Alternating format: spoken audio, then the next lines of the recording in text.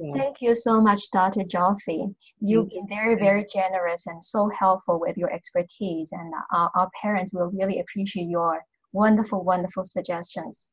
Thank you so much. Thank you very much for having me, and I would love to hear their feedback if this was helpful or not, because I think that I'm here to to help, and uh, anytime I'll be glad to do that. Thank you very much. Thank you so much. Okay, bye. Thank you. Bye bye.